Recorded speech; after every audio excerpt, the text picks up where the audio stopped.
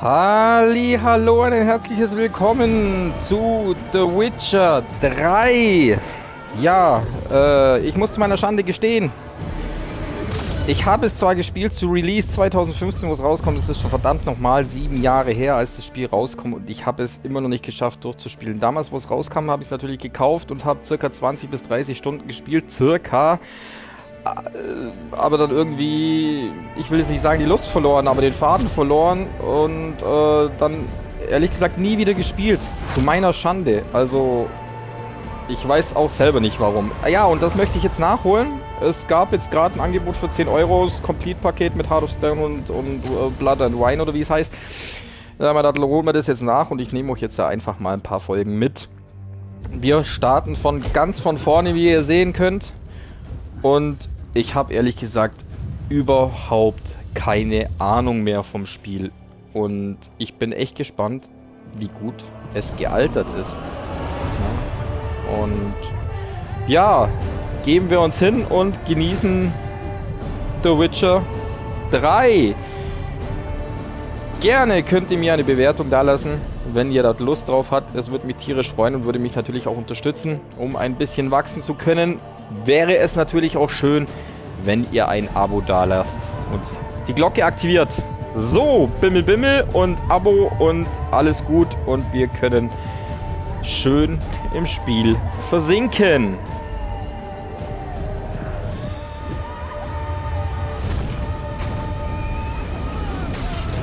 Es soll ja, wie ich mitbekommen habe, ein PS5-Patch kommen, ein Upgrade. Natürlich, äh, was ganz gut ist, Ladezeiten dann und 4K und Raytracing wäre natürlich oder ist dann natürlich auch dabei. So habe ich es bisher mitbekommen. Dann soll ein Netflix DLC kommen, also ein DLC basierend auf der Netflix-Serie, was ich auch ganz cool finde, weil die Serie war echt gut. Und natürlich ist The Witcher 4 aktuell in Arbeit. Wann wir damit rechnen können, wissen wir nicht. Sollen sich lieber Zeit lassen, dass nicht nochmal so ein Fauxpas passiert wie bei Cyberpunk. Das wollen wir nicht hoffen und wünschen wir uns auch nicht. Und ja, und derzeit können wir einfach noch Witcher 3 nochmal genießen und uns darauf einlassen. Und bis wir fertig sind, gibt es wahrscheinlich schon Teil 5. ja, wir werden sehen. Also, ich muss ehrlich sagen, ich weiß echt nicht mehr viel vom Spiel. Und wir fangen jetzt einfach mal ganz gemächlich an und gucken. Ich weiß, dass das Pferd Plötze heißt. Aber das weiß ich halt auch aus der Serie. So, der gute Gerald schläft.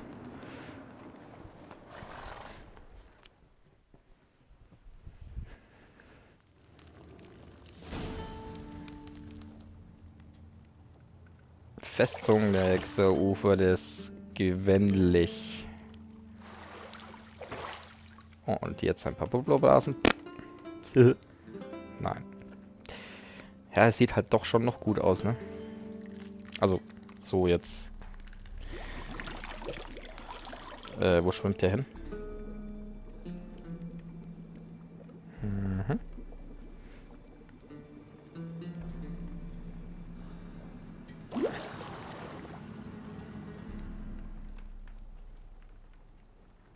Du weißt, dass ich das nicht lustig finde.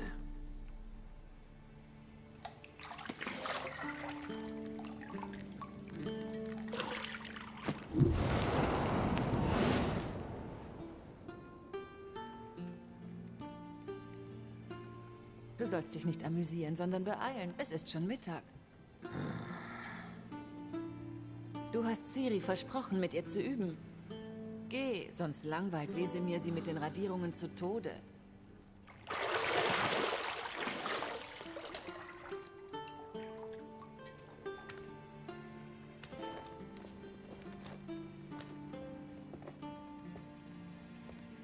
Na dann, bis später. Hm, bis später.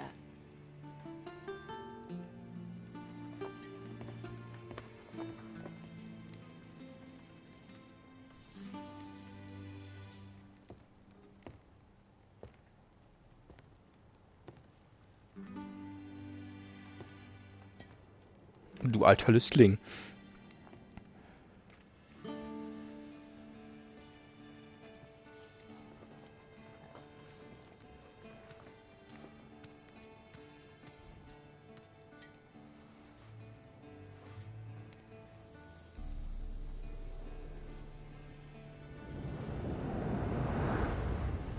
Ich weiß gar nicht, das ist Jennifer, ne? Ja, ja, okay. Da war ich mir jetzt gar nicht mal sicher, ne? Wie gesagt, ich weiß echt nicht mehr viel. Ich habe auch damals Teil 2, ja, Teil 2 habe ich sogar durchgespielt. Teil 1 habe ich nie gespielt.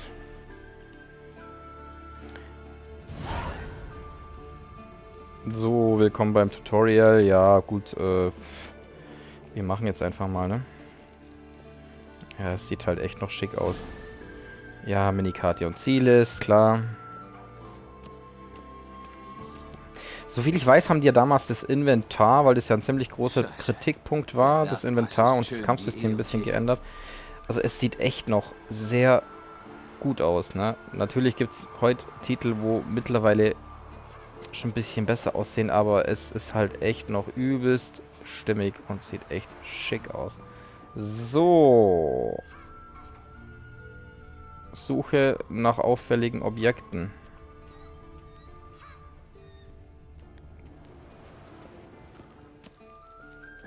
Du hast keinen Saft mehr. Ich weiß. Du könntest mir nach den Übungen noch welchen besorgen.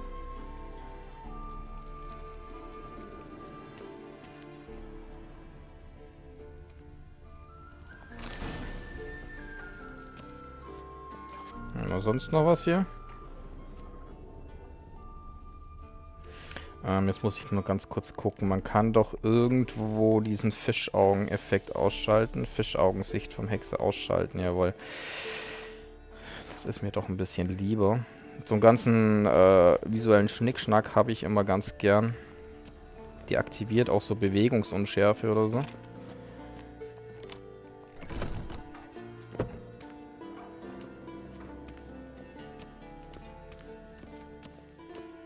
Ich auch rennen? Na, kommt wahrscheinlich noch. So. Äh, was ich in der nächsten Zeit einfach nur so mal Informationen habe ich auch vor, mal so wieder ein bisschen Red Dead Redemption 2 einzuwerfen. Das werden so jetzt mal so die zwei Titel sein, wo ich nachholen wollen würde, weil Red Dead Redemption 2 habe ich auch nie durchgespielt. Ne? Habe ich so, ja, auch so um die 50, 60 Stunden drauf, aber nie durchgespielt. Das sind einfach wirklich so, das ist, es ist ein ganz großer Pile of Shame äh, oder ganz böse Titel. äh, ja, aber. Ja, so ist es halt manchmal. Man fängt es an, man hört es auf, weil vielleicht was Neues rauskommt und dann äh, verliert man Faden und äh, ja, Red Dead, Red, Red, bei Red Dead Redemption 2 hatte ich aber auch ein Problem und zwar, dass es mir teilweise ein bisschen zu behäbig war. Also einfach alles zu langsam ging. Ja, immer schön, wenn es detailverliebt war, aber dann waren halt doch ein paar Sachen, wo mich genervt haben. Aber gut, wir schauen mal. Will ich auf jeden Fall wieder reingucken und bei The Witcher machen wir das ebenso. Das bestärkt nur die Fehler. Bring unser Fräulein in den unteren Burghof. Sie will üben, das kann sie haben. Sei nicht wütend auf sie, wir haben sie verwöhnt. Äh, ja, machen wir so. Sei nicht wütend auf sie. Warum nicht zum Teufel? Dieses Küken weigert sich zu tun, was man ihm sagt. Das magst du doch an ihr. Gut, es ist wohl teilweise meine Schuld. Aber damit muss Schluss sein. Sofort. Man darf das Monster töten nicht auf die leichte Schulter nehmen. Ciri muss das begreifen, wenn sie eine von uns werden will. Wir sehen uns unten.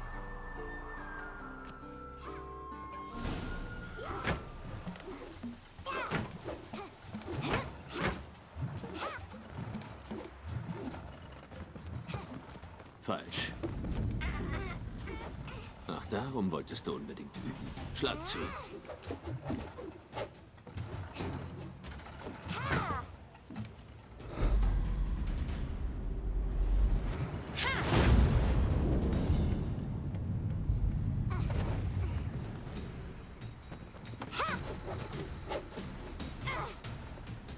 Du bist nicht im Zirkus. Pirouette. Falsch. Beinarbeit. Genug. Runter. Mit Salto? Was glaubst du wohl? Na gut. Augenbinde ab.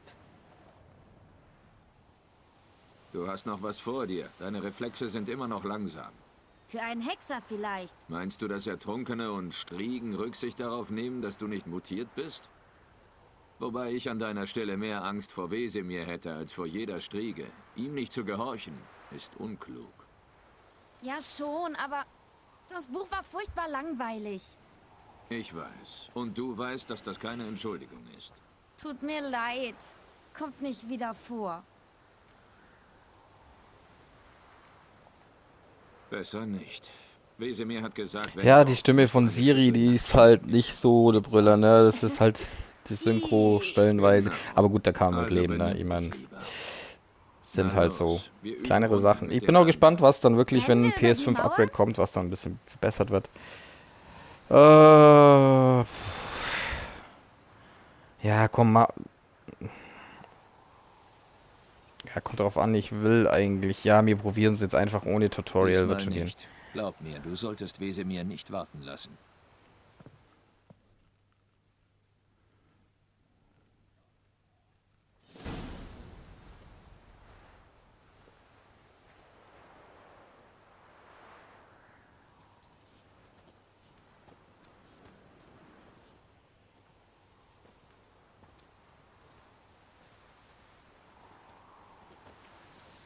Hast du was zu sagen, junge Dame? Es tut mir sehr leid, Onkel Wesemir. Junges Blut giert nach Abenteuern. Das verstehe ich. Aber wenn du gegen eine Bestie kämpfst, ist Wissen so wichtig wie dein Silberschwert. Du solltest zumindest wissen, wodurch Gule sich von Algulen unterscheiden. Durch Zeichnungen ähnlich des in Serikanien heimischen Panthera tigris sowie durch die kranke Blässe des Gesichts. Du hast das Kapitel also gelesen. Du hättest trotzdem fragen müssen, ob... Aber du hast geschlafen, Onkel Wesemir.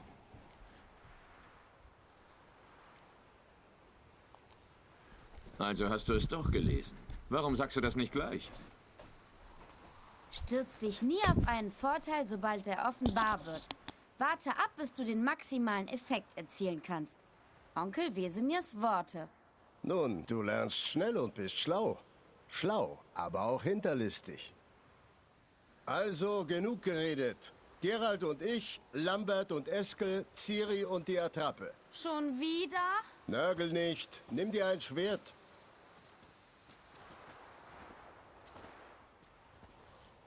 Was meinst du? Sollen wir erst die Grundlagen durchgehen oder gleich mit dem Freistiltraining anfangen?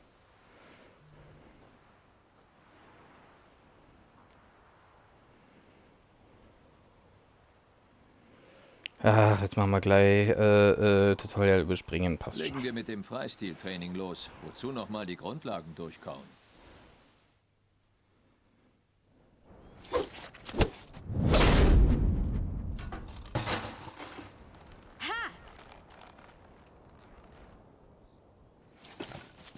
Wow, dem hast du es aber gegeben, Kleine. Ciri, komm jetzt runter. Der kleine Satansbraten. Sobald sie zurück ist, darf sie alle Schwerter in Kaer Morhen polieren. Hast du den Helm? Warum sind da jetzt Untertitel? Ciri? Habe ich doch vorhin deaktiviert. Und ich werde dafür sorgen, dass du kein Schwert vergisst.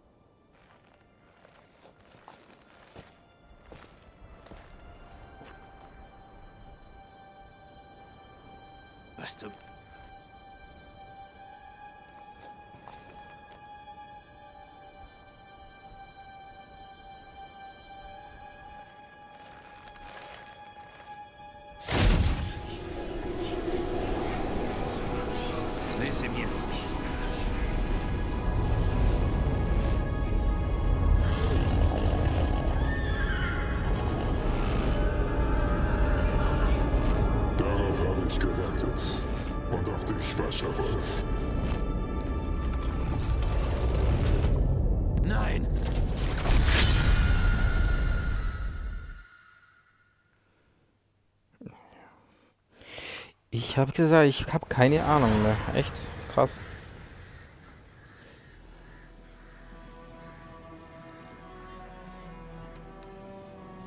Nach wie vor echt cool.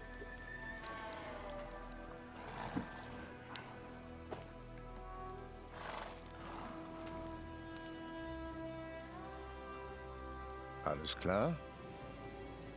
Mhm. Ein Albtraum. Was für einer? Das zu erklären würde ewig dauern. Bis zur Dämmerung ist noch hin. Wir haben Zeit.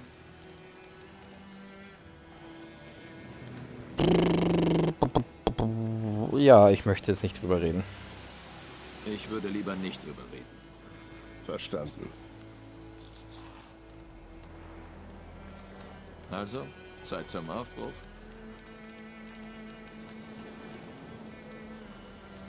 Warte. Zeig mir den Brief von Jennifer. Vielleicht habe ich da einen Hinweis übersehen. Du hast nichts übersehen. Wir sollten uns in Weidendorf treffen. Das hat sie geschrieben. Inzwischen hat die eine oder andere Armee das Dorf niedergebrannt. Uns bleibt nur ihrer Spur zu folgen. Also, Hör kurz auf zu reden und gib mir den Brief. Was sagt man dazu? Er riecht wirklich nach Flieder und Stachelbeeren. du wolltest ihn lesen, nicht beschnüffeln. Wir müssen uns sehen. Bald. Weidendorf bei Wüsima. Hm. Keine weiteren Hinweise. Was ist das für ein PS? Ich habe das Einhorn noch? Das ist privat. Eine Privatsache. Eine sehr private. Aha, verstehe. Glaube ich jedenfalls. Vielleicht nicht ganz. Und das wird wohl das Beste sein. Zurück zum Thema. Wie viel Vorsprung mag Jennifer haben? Zwei, drei Tage. Die Spur ist frisch. Aber sie führt wohl zur Hauptstraße. Da wäre sie schwer auszumachen.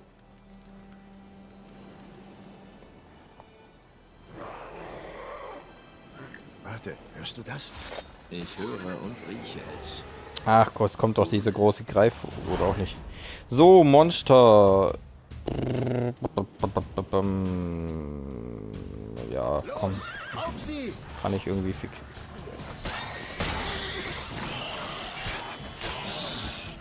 Jawohl. Das läuft.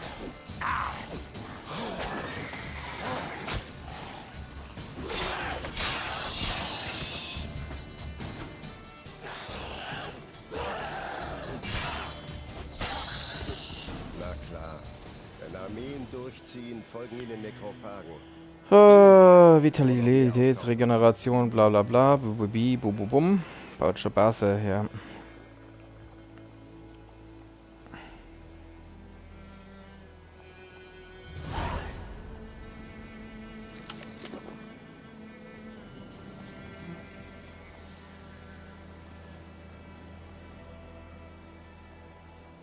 Wo ist jetzt mein Pferd? Was haben wir da? Oh, da kann der Bub wieder einsammeln, ne?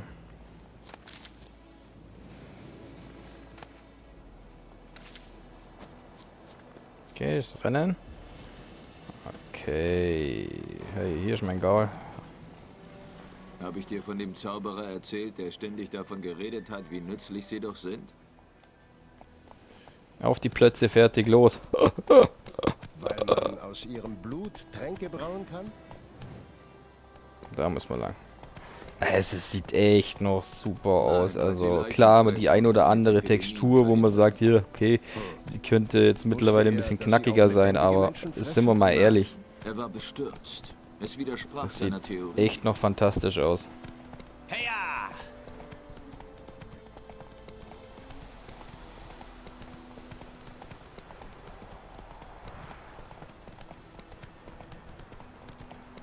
Ja, wir reiten doch schon Galopp, Mensch. Der Krieg läuft nicht gerade zu unserem Vorteil.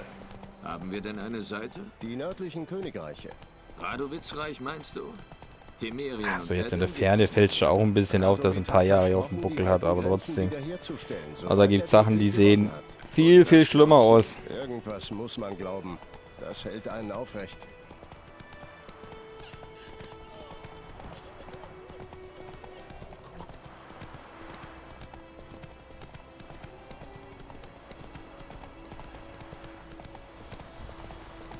Ja, ich krieg gerade mit jeder Minute mehr Lust drauf.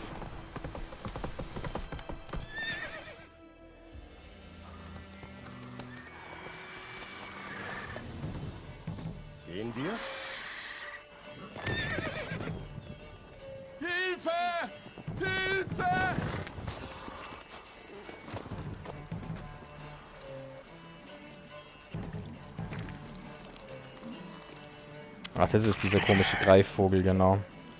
An den kann ich mich nur so halbwegs erinnern.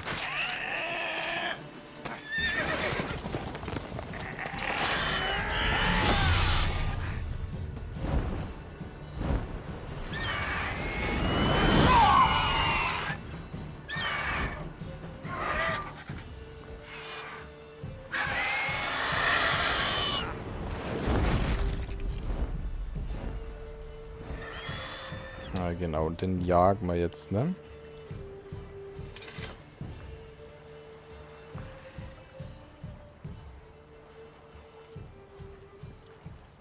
Ist er weg? Ja. Komm raus.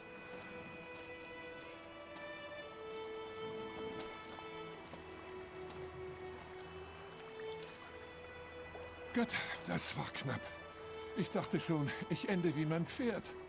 Wenn du Glück gehabt hättest. Dein Pferd ist sofort gestorben. Aber Greife spielen gerne mit ihrer Beute. Fressen sie bei lebendigem Leibe auf. Aha. Ihr wollt wohl eine Belohnung haben, nehme ich an. Ja klar, ein bisschen Kohle ist immer Ein gut. paar Kronen können wir immer gebrauchen. Bin leider gerade schlecht bei Kasse. Die Nilfgaard da haben meinen Besitz beschlagnahmt. Und jetzt dies.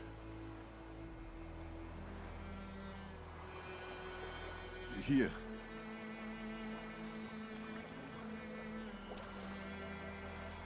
Zurück zur Danke, Spur. Bruder. Wie gesagt, die führt zur Hauptstraße und endet dort. Sie ist verwischt. sucht ihr jemanden? Was geht dich das an? Naja, weißt du, hier in Weißgarten gibt es eine Herberge, die einzige weit und breit. Da kommen viele Reisende durch. Vielleicht erfahrt ihr etwas. Keine schlechte Idee. Zumal diese Wunde gereinigt werden muss. Pah, kaum ein Kratzer. Aber ein Schnaps wäre jetzt recht. Schön kühl. Direkt aus dem Keller. Gehen wir.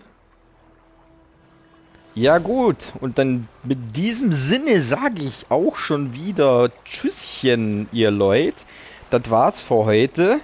Äh, wir machen auf jeden Fall weiter. Und ja, würde mich freuen, wenn ihr das nächste Mal wieder dabei seid. Und danke, dass ihr so dran, lang dran geblieben seid bis zum Schluss. Ich weiß, es war jetzt heute nicht gerade die actionreichste Folge, aber es geht auf jeden Fall weiter. Und wir spielen weiter The Witcher 3 und ich wünsche euch was, eine schöne Zeit und bis bald. Tschö mit Ö.